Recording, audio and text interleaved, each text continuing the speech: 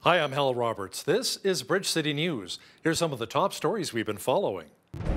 AHS announces that more family physicians are moving to Lethbridge to deal with the doctor shortage. We have the numbers as to how many. With more viruses arriving in southwestern Alberta, our region's lead medical officer of health has tips on how to best protect yourself and your family. And Team Canada won gold at the World Junior Hockey Championship in Halifax.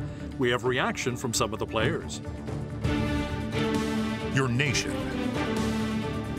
your province, your southern Alberta. From the heart of Lethbridge, it's Bridge City News with Hal Roberts. Thanks so much for joining us. Our country is enjoying a golden glow.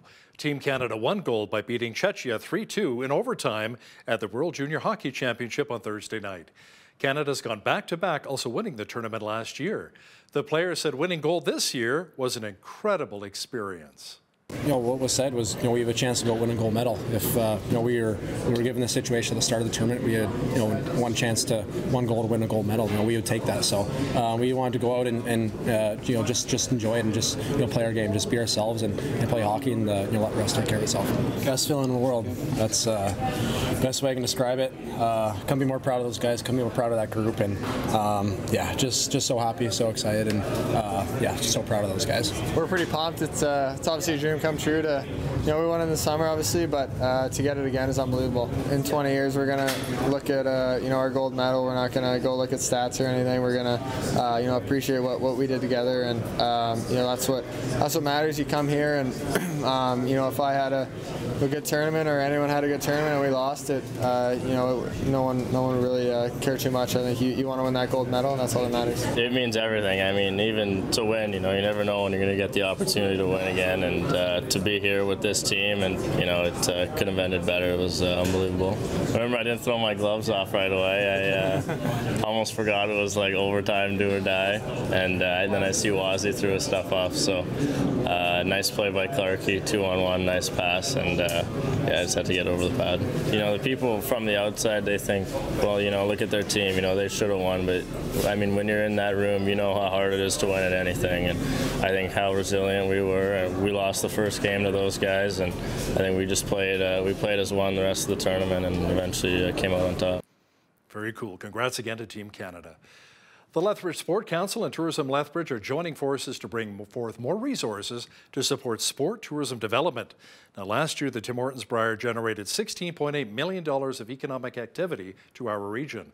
Staff from the Lethbridge Sport Council say this partnership will be mutually beneficial. One of the roles that Sport Council will have is to be that liaison between uh, an event right holder, so a national sport organization, talk to them, gather information, see if they're interested in Lethbridge. And if it's a fit with an event that they have, then talk to the local sport organization who may be the host of that event or facility to say, it, does this align with your vision of what you want to do and gather more information about their organization their capacity um, and help them understand what the process is if they wanted to host an event by the way, the Tim Hortons Brier supported 137 jobs totaling $6.2 million in wages and salaries. That included 5.4 million in wages and salaries for the local economy. Well, it appears as though the cold and flu season is in full force once again. Not only are many of us dealing with COVID-19, but also the flu and the RSV virus. The Chinook Regional Hospital's ICU capacity is close to 100% right now. Dr. Vivian Suttorp is the lead medical officer of health for the South Zone with Alberta Health Services, and she joins us now here in Lethbridge. Dr. Suttorp, when it comes to protecting ourselves from these viruses, is it best to just continue with a common sense approach? What's often termed the triple threat, the three viruses that you indicated, the preventive strategies are all very similar, which is great news for all of us. Um, some of the prevention strategies are one, and is to stay home. Stay home if you're sick. Keep your kids home when they're sick. School is starting up again next week, so that's a very important measure. Secondly, there's immunization and for influenza as well as the COVID. And even better news is that the influenza vaccine is a good match to the main dominant strain that is currently circulating of the influenza A H3N2. And thirdly, good hand hygiene as always, covering your cough if you have to get out of your uh, your house. Um, and then there are other options that we've seen that have worked very well throughout the pandemic as well. So, um, and if you choose to wear a mask, uh, feel free to do so. If you choose to avoid very large gatherings, that is another uh, option for individuals. So there's a whole toolkit of preventive strategies for uh, families and individuals. Now, is there any way we can attack these viruses with medication, or do we just kind of ride them out with our immune systems? Primarily with uh, viral illnesses, it's supportive treatment. So, riding it out, lots of fluids, uh, managing fever, etc., and rest. Um, there are individuals who may be eligible for early treatment for influenza and COVID as examples.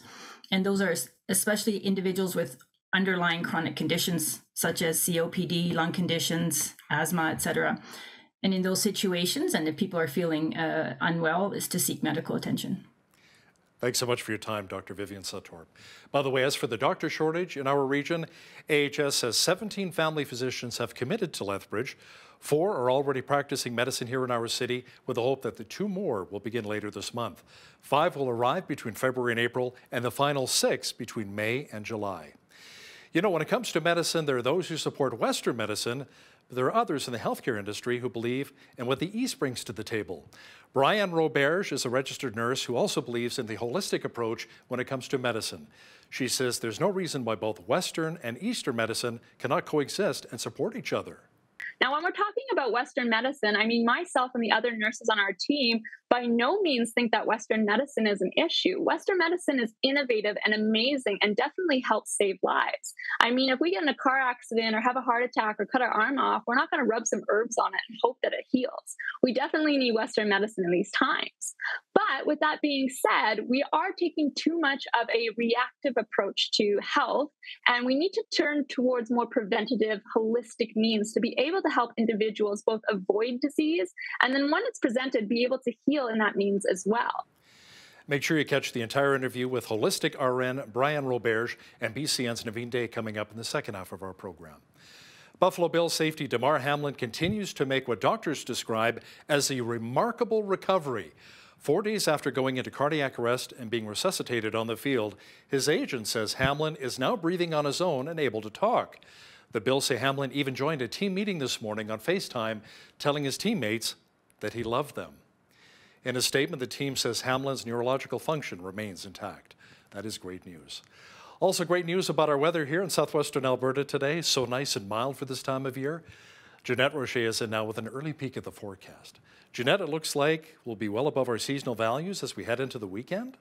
Well, we sure will be, Hal. Uh, we're looking at plus digits all across the board, all the way into next week. And it's all thanks to those warm Chinook winds, which will be coming and blowing away all the snow and the ice. I know I, for one, am looking forward to having that ice gone from the parking lot. It's been a little treacherous out there. But uh, speaking of those winds, they're going to be gusting up to 50K overnight and into 40 kilometers per hour tomorrow on Saturday. Not horrible, considering what it's bringing with it. Look at these these temperatures, even the overnight low minus five, uh, up to six degrees on Saturday. And next week, much of the same. I'll be back later on in the show to give you that seven day forecast. Looking forward to it. Thanks so much, Jeannette. Christmas begins on Saturday for Ukrainians, and Ukrainian families who have settled into our city will be celebrating. A Ukrainian family opened up their home on Friday to showcase some traditional food from their country. As BCN's Micah Quinn explains now, the Rotary Club of Lethbridge was instrumental in helping close to 20 Ukrainian families get situated here in our city. A Ukrainian home was full of Christmas cheer on Friday morning as families were in the festive spirit, gearing up to celebrate their holiday season on January 7th. For new Ukrainians in our city, they say they're just happy to be here after escaping the war against Russia and are thankful for the warmness that Lethbridge residents have shown them. We feel like home because it's not easy to celebrate Christmas it, it's our first Christmas in Canada. We left our relatives, uh, our parents, our brothers, sisters. Traditional Ukrainian dishes were also prepared to showcase the wonderful delicacies of the country. The Rotary Club of Lethbridge connected with Lethbridge Family Services to figure out which families they could help. The club was able to raise just under $50,000 to assist 18 Ukrainian families and four single adults. The group's goal is to help Ukrainians find housing, furniture, clothing, food, and other essential items once they get to Lethbridge. You know, there's a total of 16,000 Ukrainians in Alberta and approximately 200 in Lethbridge. And that was updated with Lethbridge Family Service. We've touched probably 100 of those. I think my understanding is that there'll be more of this second wave coming. Ukrainian Christmas will officially end with the Feast of Epiphany on January 19th. For Bridge City News, I'm Micah Quinn. You know, due to inflation, dining out is getting to be pretty expensive. This is not only having an effect on individuals, but also on restaurants. Vicky Vandenhoek, owner and operator of Honker's Pub and Eatery here in Lethbridge, says business has partially slowed down because of the high costs she's incurred. Sort of the chatter is that they're being more selective. Um, they're being more selective number of times they go out to eat uh, because just the fact that you know eating out in public is more expensive than eating at home. Um, that's always been the case. So they may be not treating themselves as well. Um, we still find like the worker who is um, you know on lunch budgets and stuff like that. They're they're still coming out to do it. Um, but I, we're finding the nighttime crowd is slower um, just because a we're in January, but b because of the inflation. Vandenhoek says when it comes to tracking down certain products for food, they've also been impacted by supply chain issues. Thanks to an initiative from the federal government, $400 million will be invested into the local community foundations, Red Crosses, and United Ways across Canada. Charlene Davidson, Executive Director of the Community Foundation of Lethbridge, explains what the support from the Community Services Recovery Fund will be going towards. These funds are to help the charitable sector recover as we come out of the uh, COVID pandemic and move forward. It is money to help the organizations strengthen their internal programs and systems and invest in their people between the local community foundation and the local United Way, we're receiving just under a million dollars in our community, which is fantastic. We've come through a really difficult year in the charitable sector. Donations were down for a lot of groups. Some of the charities have had to close their doors, and this money is intended to help those charities strengthen, support, and build so that they're stronger as we move forward as a community. Jackie Zalasak with United Way says they're simply thrilled to be able to help charities move forward in expanding their programs and services thanks to this new funding. We are here to um, help these organizations in conjunction with the Community Foundation, um, as well as the Red Cross, um, and moving forwards and in um, supporting these organizations redesign their their programs and invest in their people. And we're so thankful that the Government of Canada is in has been able to um, allow us to support these organizations in moving forwards in 2023. The Community Foundation will have over $500,000, while the United Way will receive over $400,000 to help support local charities. Award winning Canadian country music artist Corb Lund is a very proud Albertan. He's also someone who's not a fan of coal mining in the eastern slopes of the Canadian Rockies. Lund says the issue was first brought to his attention by Alberta ranchers. He says when it comes to coal mining, the return on investment doesn't appear to be there for most Albertans. And I always address this topic by saying, number one, I'm not against resource extraction. It's just that this is a terrible idea. And number two, I'm not political. I don't like any of the parties, so this has nothing to do with politics for me. I would say the same thing no matter who is trying to pull it. But yeah, it makes no sense for Albertans. Like the, all we're getting the the royalty rate is very, very small, and all the companies are foreign, and it's going to ruin the water, it's going to ruin the Oldman River, and it's going to ruin the Rockies. And we don't get anything out of it other than a few hundred jobs per mine, which have to be balanced against ag jobs and tourism jobs, not to mention the cleanup, which no matter what they say, the taxpayer will foot the bill for. We know this. This is just that's an old playbook. So Corb Lund will also chat about some of his very special memories with his friend and legendary singer Ian Tyson, who passed away recently. That Q&A with Jeannette Rocher is coming up after business news. Some of Canada's largest police unions are joining forces to identify why five police officers have been killed in the past four months. The groups say they will review judicial and public policy frameworks, including bail and sentencing practices. They will also look into what they call a growing and chronic shortage of officers. They then plan to call for change to make sure that the wave of violence against police does not continue. The four associations involved represent around 60,000 police personnel. Multiple people were wounded on Thursday night following a shooting outside of a restaurant in South Florida. Social media posts said a music video was being filmed at the time of the incident. It was an altercation that uh, led to the finger licking location. An altercation that led to the finger licking location. Um, uh, there were some shots being fired, and multiple victims um, were injured. Inside the restaurant, outside? Outside the restaurant. I heard the gunshots. It was uh, sporadic gunshots. Uh, I think it's uh, at least at least 12 shots. Very sporadic 12 shots. At this time, we don't know. We don't have a number. There were multiple uh, victims. We've heard as many as 10. I cannot confirm that. Right now, it's just multiple victims that were injured. Meanwhile, in Mexico, the operation to detain Ovidio Guzman, son of imprisoned drug lord Joaquin El Chapo Guzman, unleashed a running firefight in the northern city of Culiacan. The battle killed 10 military personnel and 10 suspected members of the Sinaloa drug cartel.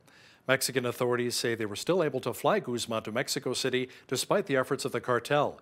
He was taken to the officer of the Attorney General's Organized Crime Special Prosecutor and then later transported to a maximum security prison. The Operation Christmas Child campaign was another huge success for Samaritan's Purse this year. It helped provide for many children around the globe with school supplies and personal hygiene items. As we hear in this next report, the shoeboxes even made their way to Fiji this year.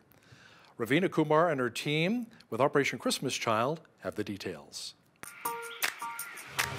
A lot of people, when they think of Fiji, the first word that comes is that it's a paradise. I want to go there. Some of them have said, this is my bucket list to get there. Fiji, it's a paradise with the lovely beaches, friendly people all around. Yes, Fiji is a paradise, but weather plays up a lot. There's a lot of storms here, there's a lot of rains here. It really floods a lot from November to April here in Fiji. The floodwaters went through my house twice.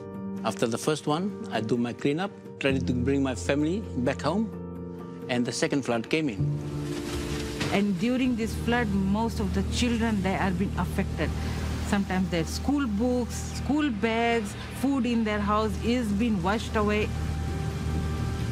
Rain becomes an obstacle, but it also gives us an opportunity to see what else God can do. When our containers comes in, it's always come in a very challenging time for us. Especially it's a, it's a cyclone season, it's a rainy season. And so our boys worked so hard to get all these boxes out of the container in time. All these changing of weathers does not slow down the work of Operation Christmas Child in Fiji. Rain or shine, flood, cyclone, but ministry has to move on. And so this Operation Christmas Child ministry, national team, regional team, we push through it. Sometimes we have to go in the weather to reach out to those children. Operation Christmas Child motivate us to push through, for us to reach out for the unreached, especially the children. And what we are doing uh, about it is to go through any challenge that comes across and grab every opportunity and open doors that open for us, and above all, the gospel message. That is so wonderful to see the beautiful looks on the kids' faces. And wonderful to feel the warm Chinook winds we've been experiencing here in Lethbridge. You know, not a bad weekend is shaping up with warmer temperatures. A full look at the weather picture is on deck.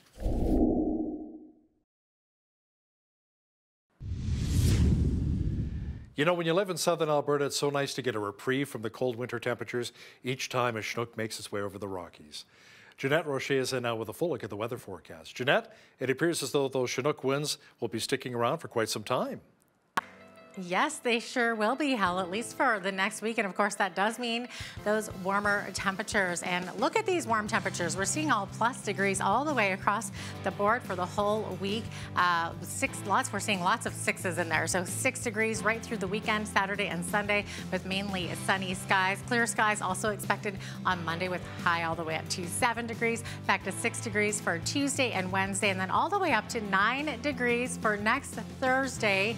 I'm absolutely absolutely loving those temperatures, especially when you consider that the average high for this time of year is minus two right there. Average low for this time of year, minus 14. So we're well above that. 13, that was where we were sitting though back in 2003. So it must have been a Chinooki day that day as well. Minus 35 uh, was our chilly low back in 1996. Sun rose this morning at 8.28 and our sunset this evening at 4.47, giving us 8 hours and 19 minutes of a daylight. Okay, so let's take a look at the highs across the nation. Starting in Victoria, looking at a high of 8 degrees tomorrow, 40% chance of showers, looking at 40 to 60 K winds in the morning, but it should be lightening up by the afternoon. 9 degrees the high tomorrow in Vancouver, 70% chance of showers and about 60 K winds along the water there. Minus 1 the high in Edmonton tomorrow and 2 degrees the high in Calgary. With mainly sunny skies. So um, the prairie's definitely warming up quite a bit as well here. Minus five, the high in Saskatoon tomorrow with mainly sunny skies. Clear skies also expected in Regina tomorrow with minus three. Both of those cities also looking at fog dissipating in the morning and Winnipeg looking at partly cloudy skies. Mainly overcast skies, though, in both Toronto and Ottawa tomorrow. Three the high in Toronto, minus four in Ottawa, zero the high in Montreal with partly cloudy skies there. Quite a bit of precipitation, lots of snow expected tomorrow in Atlantic Canada, looking at 30% chance of flurries in Fredericton, zero the high there, two the high in Halifax with periods of snow, 60% chance of flurries in Charlottetown tomorrow with a high of zero. We're also looking at a 60% chance of flurries in St. John's and also two centimeters of snow along that southern coast there with a high of minus one. So there you have it. That is your forecast. Today's weather report is brought to you by Ridge Utilities, providing competitive rates for electricity, natural gas, and internet while investing back in communities across southern Alberta. Stats Canada says the economy added 104,000 jobs in December as the unemployment rate fell slightly to 5%. Economists say the report was a bit of a surprise, noting that wages were also up around 5.1% last month compared to a year ago. They say both figures are consistent with a healthy and robust job market. BMO had predicted a gain of 10,000 jobs in December and for the unemployment rate to hold steady. As for Alberta, government officials say we gained more than 41,000 full time jobs in December and 94,000 jobs overall in 2022. Jobs Minister Brian Jean says most of the growth came from the private sector with major gains in construction, manufacturing, technology, business, and healthcare. Stats Canada also says Canadian women were employed in record numbers last year. According to Canada's Labour Force survey, 81% of women aged 25 to 54 were employed on average over the course of 2022. That is the highest annual rate on record since 1976. The workforce participation rate for women was 1.3% higher than what was reported back in 2019 before the COVID 19 pandemic set in. There was also a jump in employment involving mothers with kids under the age of six. In 2022, just over 75% of working age women with young children were working. That's an increase of 3.3 percentage points from 2019. Consumer insolvencies in Canada were up 16.3% in November compared with the same month in 2021. That is the highest level since the start of the pandemic. According to insolvency firm Bromwich and Smith, Business insolvencies were up 58.3% from November of 2021, with total insolvencies growing by 17.5%. The report also said that insolvencies did drop during the pandemic as emergency aid helped to support both individuals and businesses. Sadly, when the support came to an end, along with high inflation, insolvencies went up. Now, here's a look at today's markets. The TSX was up 307 points on the day to finish at 19,814. The Dow was up 700 points to 33,630. The S&P 500 was up 86 on the day to 3895, and the Nasdaq was up 264 points to 10,569. West Texas Intermediate Oil was up 6 cents to 73.73 US per barrel. Natural gas was up 4 cents to 376 US. Gold was up 32.81 to 1865.69 US an ounce, and silver was up 59 cents to 23.83 US an ounce. Feed wheat is at $12.11 per bushel, barley's at 9.65, canola's at 19.75, and corn is at $11.32 per bushel. Live cattle February contract was down 58 cents to 156.78. Feeder cattle January contract was down $1.10 to 182.70, and lean hogs February contract was down 225 to 80.28. The Canadian dollar was up slightly over the past 24 hours to 74.38 US.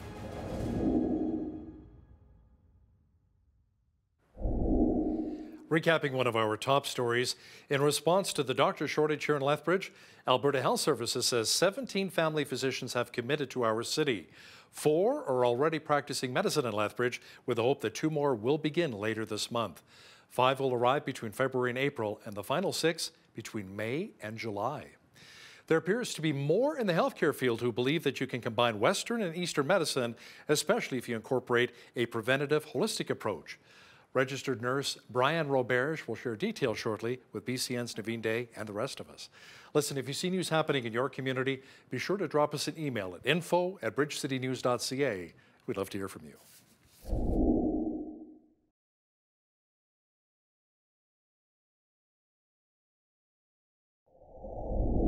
Alberta does not have a health care system so much as it has a sick care system.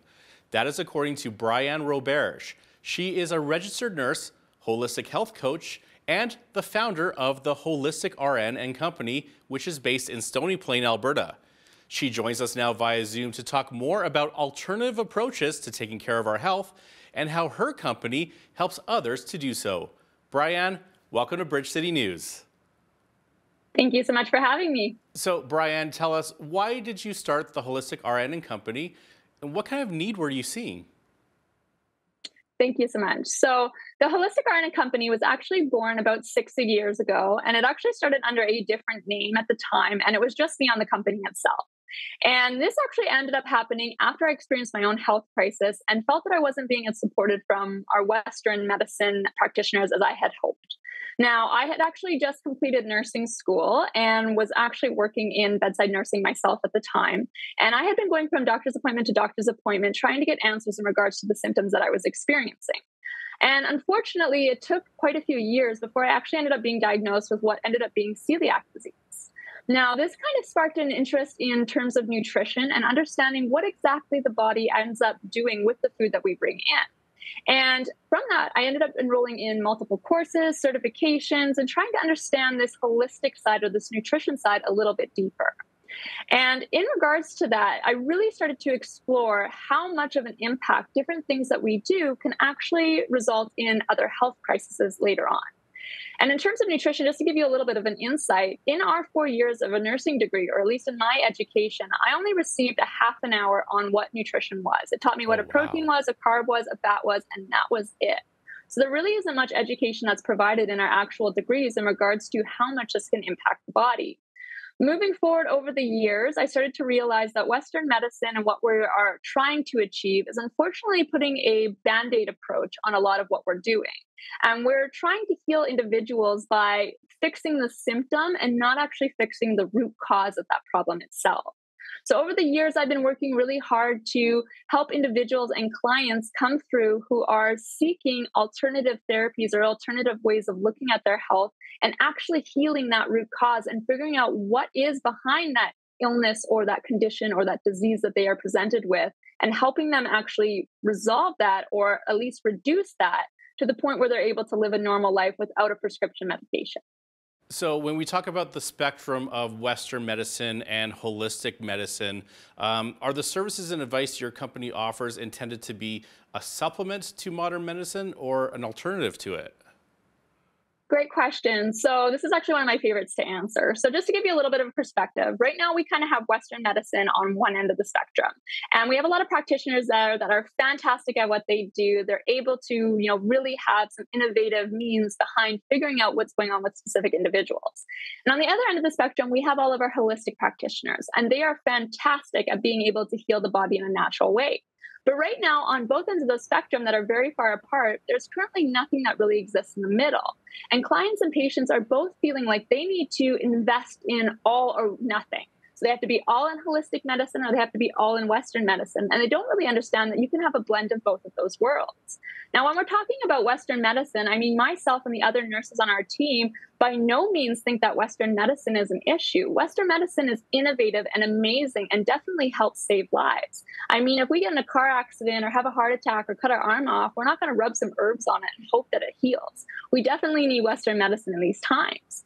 But with that being said, we are taking too much of a reactive approach to health, and we need to turn towards more preventative, holistic means to be able to help individuals both avoid disease and then when it's presented, be able to heal in that means as well. So, our company behind what we offer in terms of our services and our programs and working with clients is very much a customized approach. We help individuals bridge the gap between holistic medicine and, and Western medicine bring those two things together and figure out how they can manage their disease in a way that makes the most sense for them being able to reduce or eliminate those symptoms and ultimately leave that live that better quality of life to the best of their ability now, uh, you said you started your company six years ago. Uh, that's before the pandemic. So, did you notice a surge in business when COVID cases were on the rise? And what kinds of questions were your clients asking? Absolutely. So I did start the company about six years ago, and it actually ended up about three years ago being rebranded under the Holistic RN, and then now the Holistic RN and Company as I've started to add more nurses to my team. So I officially hung up my scrubs in the hospital just before the pandemic hit three years ago. And as we moved into the last couple of years, and of course the unfortunate circumstances that we've all had to face, I wouldn't necessarily say that the surge in clientele that we've been seeing has been related to the high COVID cases, but more so that they are recognizing the impact of burnout of our frontline workers. They are going in for a doctor's appointment where they are only being seen for five minutes. Their concerns are not being seen or heard. They are being passed a prescription and walked right back out the door with none of what they're hoping to be, you know, discussed or have their questions answered actually coming to the table. So, in terms of the questions over the last couple of years, I would say it's more so been about how can they help their bodies in that natural way to be able to support their own system, their own immunity, and things like that as well? I mean, when we're talking about the immune system, 75% of our immune system is actually in our gut. So, when we're talking about the importance of nutrition and eating whole foods and eating foods that our bodies specifically agree with, that is astronomically important. So, it comes back to those questions being more so about that health variant and being able to approach this in the most natural way possible and what they can do for their own immunity. So, as someone who is on the center of this really broad spectrum, which seems about as broad as like the political spectrum, what advice have you been giving to those who have been hesitant about getting a COVID 19 vaccine or maybe unsure whether they should get a booster? Great question. So I will be honest, we are not advising, coercing, or pressuring anybody into making a decision one way or the other. Our company very much stands behind the ability for individuals to choose what makes the most sense for them and be able to advocate for that decision. So we're all about providing education and information both on you know the vaccine itself in terms of what are some of the potential benefits that they could see? What are some of the potential side effects? A big thing that's been missed over the last couple of years. And also educating on natural immunity and what their body can do. So we provide all of the information and then we help them make that decision for themselves and feel supported in that decision. So, regardless of what end of the spectrum individuals fall on, they can feel supported and heard from our company specifically. And many people just have so many different thoughts on nutrition and healthcare and doctors and pharmaceuticals. How do you help individuals that are just overwhelmed with the abundance of and often confusing information out there? It's a great question as well. So you're absolutely right. It is super confusing. And you know, if you were to Google anything out there and say, you know, why is this harmful or why is this beneficial, you would absolutely find a million answers to support that question. Mm-hmm. I mean, mm-hmm. take dairy for instance, a super controversial one that is so much, you know, yeah. red flags on either end of that. Mm-hmm. So, for instance, uh, in regards to nutrition specifically, I mean, the body is so unique we are built very differently. What works specifically for you and your body is not necessarily going to work for me and mine, and vice versa. And so, looking at each individual and figuring out what works specifically for them is a process called bioindividuality.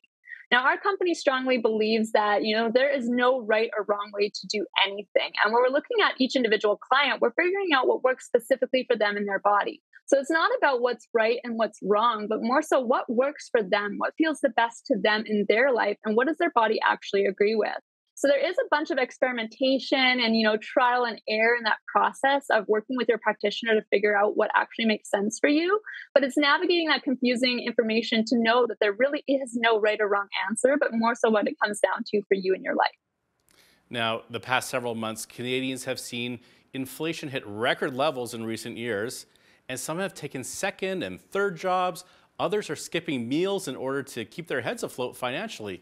And on top of all that extra work, stress is likely taking a toll on all of us. So, what are some ways that we can stay healthy and balanced while keeping up with the runaway costs of living?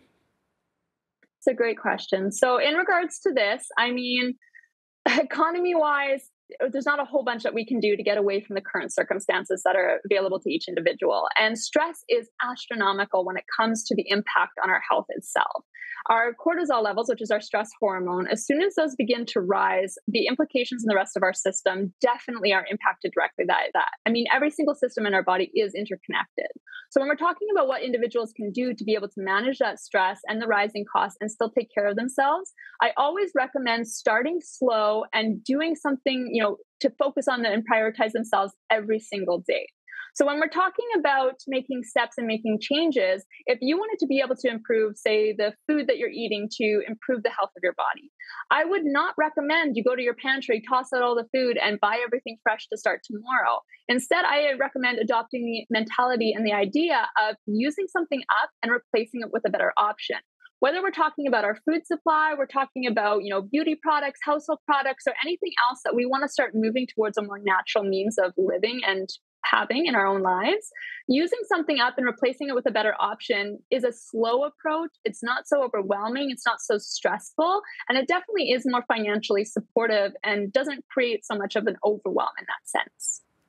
Now, here in southern Alberta, the city of Medicine Hat during the pandemic, they weren't hit by the pandemic so much as they were hit with a plague of male suicides. And so I want to talk about mental health for a bit because we, we, we touched on it uh, just a bit. Now, I've read that there's a link between mental health and gut health. Can you talk about that?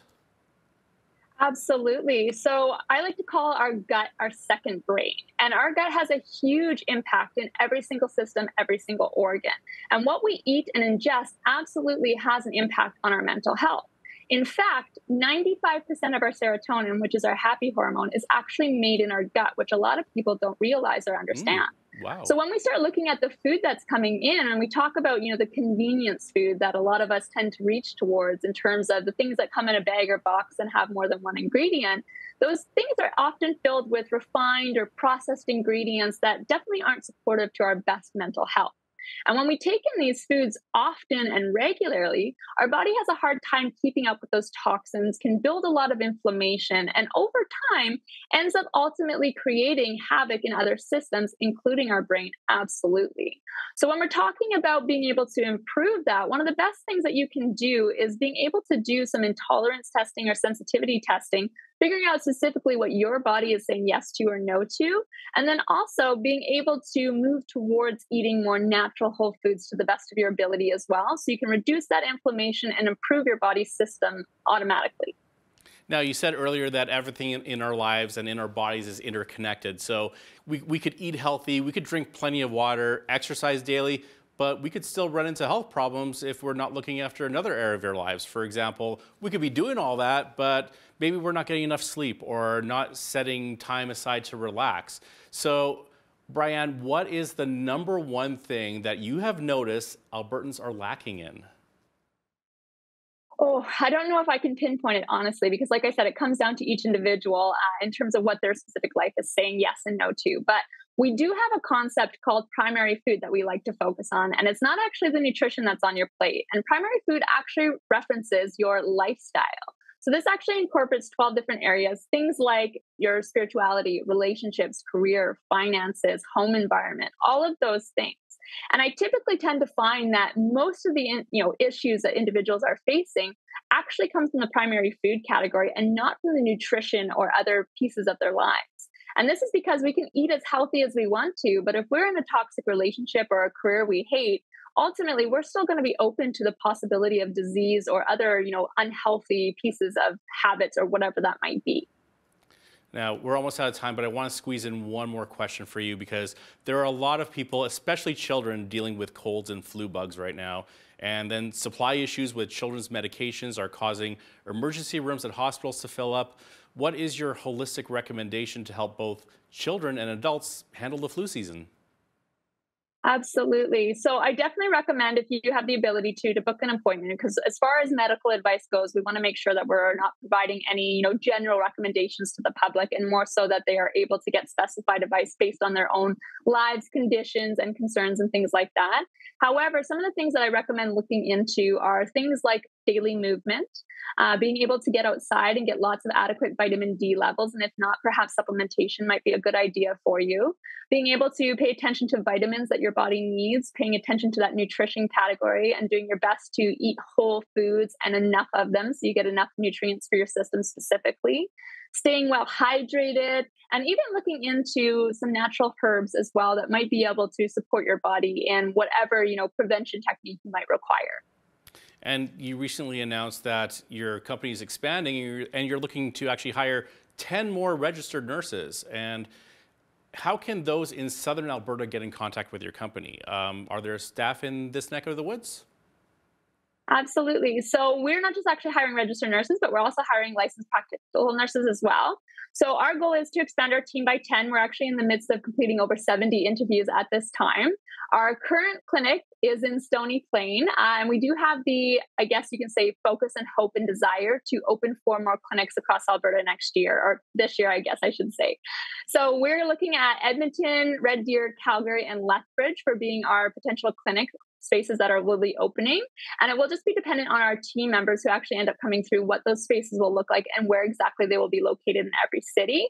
But if they want to head to our website, theholisticrn.ca, they'll be able to follow our journey, join our mailing list, and get in contact with us and know when those other clinic spaces are going to be open and when those team members will be able to provide those services. Well, that's excellent to hear. But that's all the time we have for today, Brianne. We really appreciate having you on our show. Thank you so much. I appreciate being here. Brianne Roberge is a registered nurse, holistic health coach, blogger, recipe creator, and the founder of the Holistic RN and Company.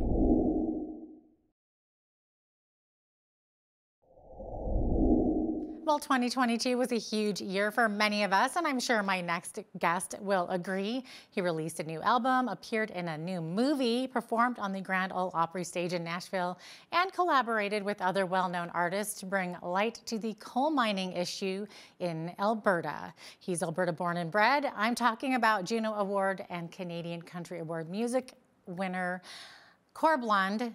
Corb, welcome and Happy New Year to you. Hey, you too. Happy New Year.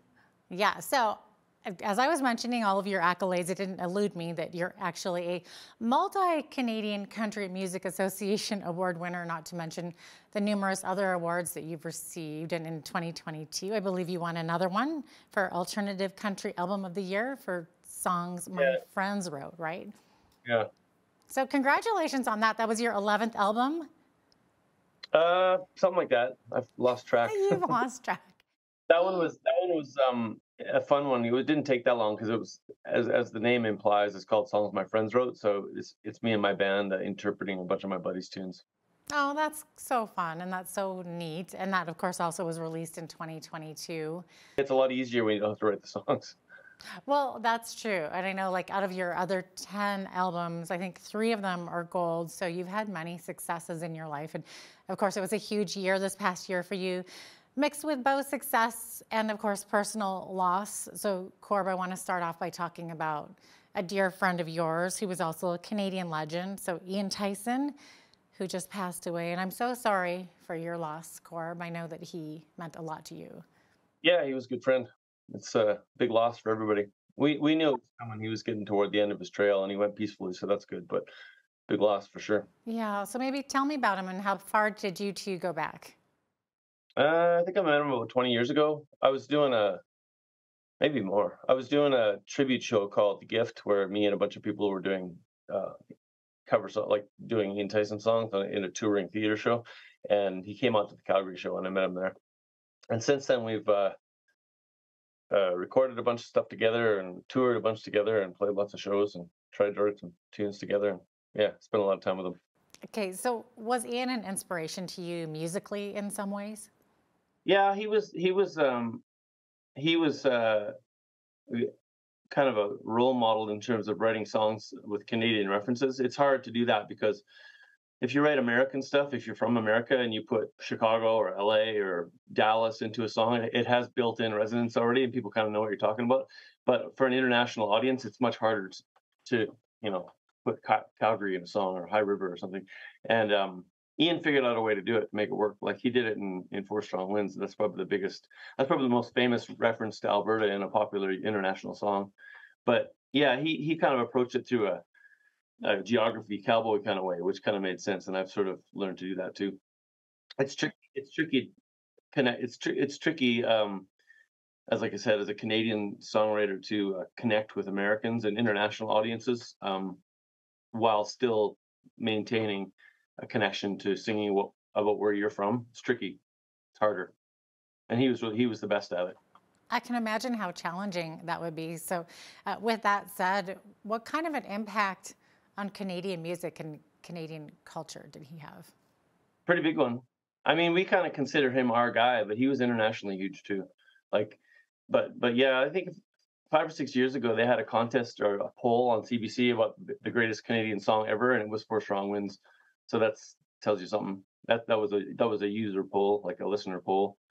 And I think um I don't know, it's almost that song's almost like a second Canadian national anthem, I think. and then he's written a ton of songs. He's had different phases to his career, and he was huge in the folk scene in the '60s, and then sort of did some country rock stuff with Great Speckled Bird, and then some Nashville records, and then the early '80s he was the he was the sort of the one of the leaders of a, a big renaissance in traditional cowboy music, and he's been doing that ever since. So he's had many phases, and he's really good at all of them. That's amazing. Uh, what an inspiration! You two did you know, do you performed together, you did some shows together. So what was what was it like to be up on stage with him?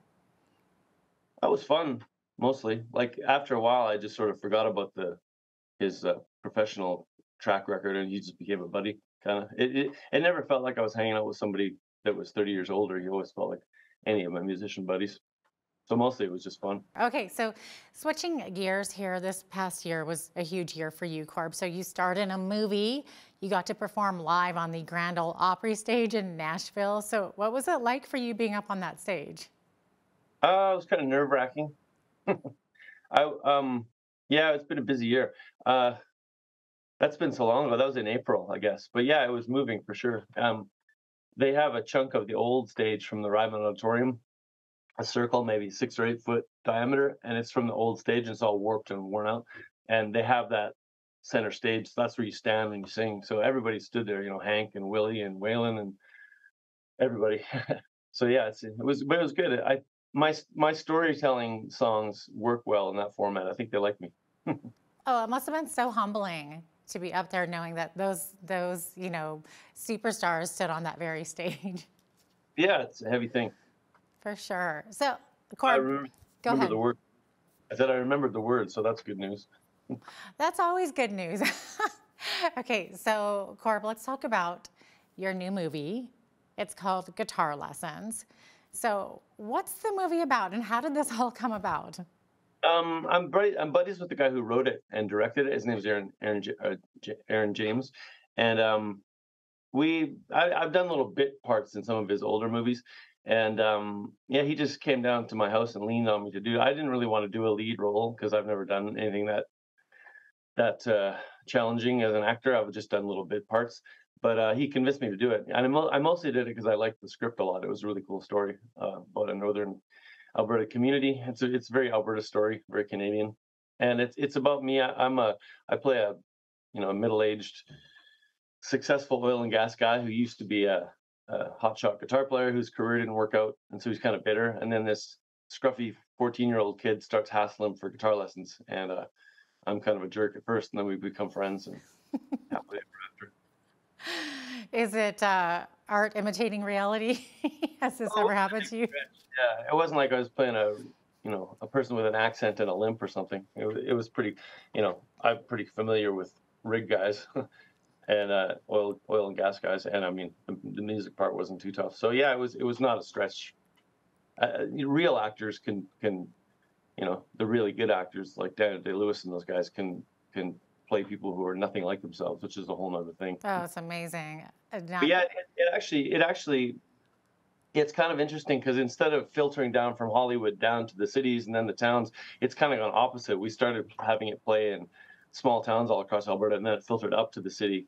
And it's, I, I think it's, um, I think they're putting it out again as soon as some of the theaters empty out from, uh, uh, what's it called, uh, Avatar. so, um, and it also apparently it was the most successful, like the mo- the most well attended Canadian movie in Canadian theaters this year, which is cool. Wow. Well, congratulations on that. It, Uh, it'll be be on streaming eventually, but they're still working that out. I think I don't know much about the movie business. Okay, so do you think this will whole, open up a whole new world for you, acting wise? I don't know. I like music too much. It takes a lot of time. Hey? I mean, I'm I'm not. I'm, I'm open to it if I have if I have the time, but I'm still trying to figure out how to play guitar properly. takes a lot of work. So So, how long did it take to film? You, you mentioned it started filming in 2021, the end of it. Yeah, I think, I think about ten, I think it was up there about ten days in High Level. It's way up there. It's right by the Yukon border. Or, Yeah. sorry, maybe, oh, sorry, the Northwest Territory border. Right, yeah. Uh, long days, I would imagine. Some of them, yeah, because you kind of once the cameras are going, you kind of got to get it before you before you sleep. So Well, okay, so you mentioned that you're going to stick with music, although you love acting because you've done other bit parts before. And I I'm not sure if I, I'm not sure if I love it or not yet. Actually, I think I think I think um, live theater would be more fun because, like in music, Hmm. making records is okay and it's kind of fun, but playing shows, live shows where you get the energy from the audience, that's kind of why I do it. And I feel like acting might be the same way. Like making movies is kind of cool, but you do it and then no one applauds or you don't know if it was any good and then six months later you see it, right? And people might pat you on the back then. Whereas live theater, it's same as live music. It's you can feel it, right? yeah, you get that immediate reaction. So I'd like to try that sometime too, but I, I need about five lifetimes. Yeah, you really do. I feel like you've lived five lifetimes already, uh, even just like looking back on this past year. So early last year, you collaborated on a project with other well known Canadian country artists. So, you know, we're talking Terri Clark, Paul Brandt, Brett Kissel to re release your single called This Is My Prairie. And you all came together to do this to tackle a bit of a controversial topic the Alberta government's proposal to rescind the province's longstanding coal mining policy. So that policy proposal had it had landowners and environmental groups and First Nation groups protesting it, not to mention you and your fellow musicians. So why were you so against this policy change?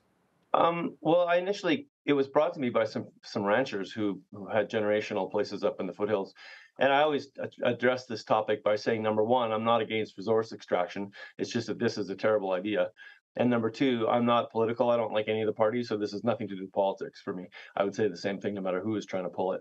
But yeah, it makes no sense for Albertans. Like the, all we're getting the the royalty rate is very very small and all the companies are foreign and it's going to ruin the water it's going to ruin the Oldman River and it's going to ruin the Rockies and we don't get anything out of it other than a few hundred jobs per mine which have to be balanced against ag jobs and tourism jobs not to mention the cleanup which no matter what they say the taxpayer will foot the bill for. We know this this is just that's an old playbook so. And the government's in my opinion it's hard to say but my guess is they're going to try to uh, keep the ban in place on some of the areas, but allow it in other areas. and try to slip that by, but we're not going to let them as, as, as best we can. We're going to basically the position that we, I've taken and the people that I've worked with and the ranchers up there think that uh, we don't want any more coal mines in Alberta. Period. So. Mhm. Well, yeah, you've been very vocal about it. And so anything else like that on the horizon for 2023 in terms of collaborating with other musicians for a cause, so to speak? Well, I don't know. This will be my last cause. It's a huge pain in the butt.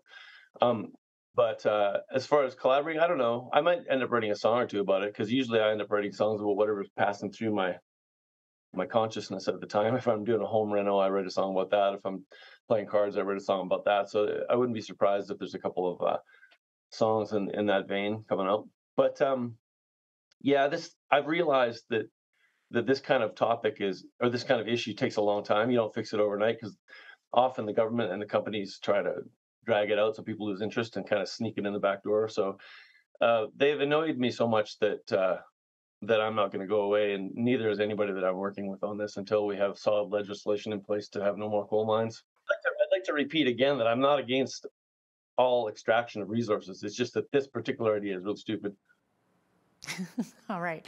Uh, so with that said, what is on the horizon then for you this upcoming year, Corb? We talked about movies. Uh, what about albums? You have another album planned, uh, touring?